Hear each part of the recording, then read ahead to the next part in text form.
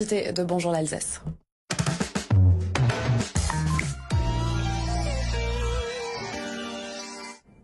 C'est une énième étape dans le dossier Stocamine. L'État lance aujourd'hui une nouvelle concertation sur l'enfouissement définitif des déchets dans l'ancienne mine de potasse du Haut-Rhin. Les citoyens de Wittelsheim et alentours ont un mois pour donner leur avis. On en parle avec notre invité. Bonjour Hubert Bonjour. Député à Modem du Bas-Rhin.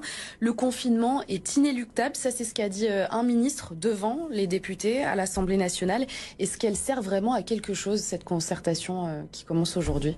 Alors je suis député du Haut-Rhin et c'est à moi-même que Christophe Béchu répondait à l'Assemblée lors des questions au gouvernement.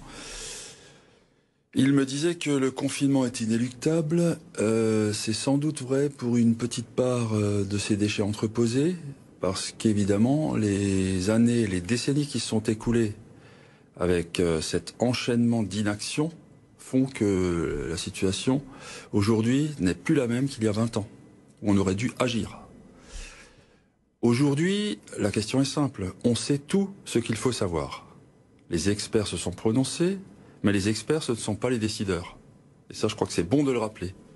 Il y a des experts qui travaillent, qui forment le socle de la connaissance nécessaire, avec leurs résultats, les travaux et les analyses, les investigations dont ils sont capables aujourd'hui, et tant mieux. Mais cela ne fait pas décision. La décision, elle appartient aux politiques. Et je dis bien aux politiques.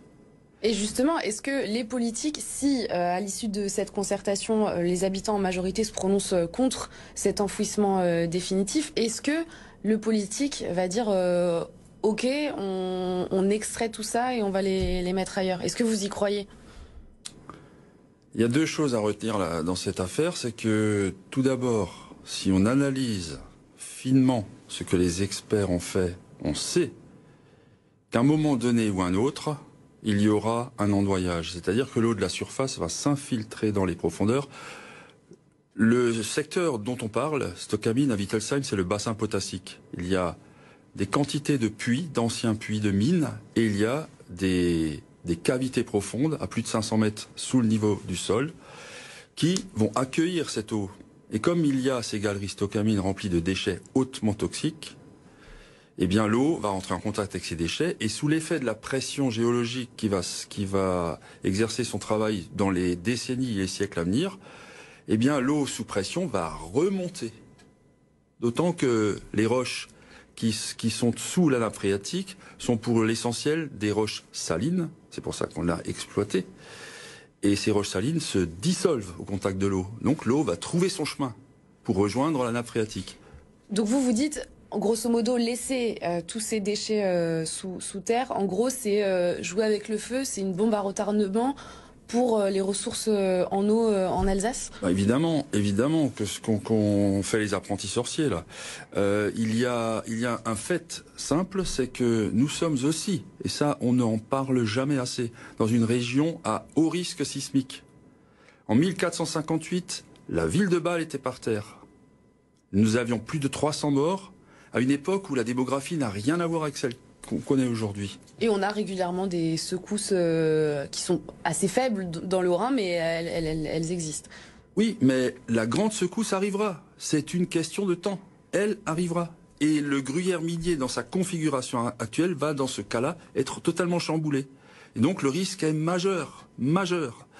À partir de là, la décision du ministre aujourd'hui doit être inspirée par la situation que l'on connaît sur le plan scientifique et par la demande légitime et indiscutable des représentants du peuple que sont les élus, notamment ceux de la CEA, emmenés par Frédéric Bierry, le président de la CEA, qui disent clairement nous voulons que tout ce qui peut être sorti soit sorti. Nous voulons préserver l'avenir, l'avenir de l'Alsace, l'avenir de ses habitants. Nous voulons que cette que cette eau miraculeuse, la plus grande nappe phréatique d'Europe, soit préservée définitivement. C'est quoi votre message pour le, pour le gouvernement, pour l'État qui lance cette concertation aujourd'hui? C'est quoi? Écoutez-nous ah, Bien sûr, mon, mon, message est clair. Euh, je crois que, je disais tout à l'heure, il y a l'étage des experts, et puis malheureusement, il y a aussi un étage qui est celui de la haute administration. La haute administration, qui est toujours en contact avec les ministres, on l'a bien vu à l'œuvre durant ces 15-20 dernières années, toujours plus ou moins les mêmes, qui ont toujours le même discours sur le même sujet, alors que la connaissance et le constat démocratique nous dit autre chose.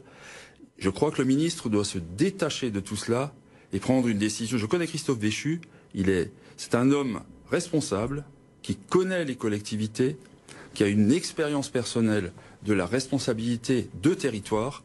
À la lumière de cette expérience et en connaissance de la situation en Alsace, je pense qu'il devrait prononcer le déstockage maximum de ce qu'il peut encore faire dans la situation de, de Stockamine. Et alors, si l'État est plutôt euh, favorable à la solution de, de l'enfouissement, est-ce que c'est pas aussi une question d'argent? Ça coûterait moins cher de laisser les déchets euh, là où ils sont et ne pas les sortir? C'est juste ça? C'est juste une histoire d'argent? Non, soyons sérieux. Euh, on parle de quelque chose qui peut menacer, menacer la vie en Alsace.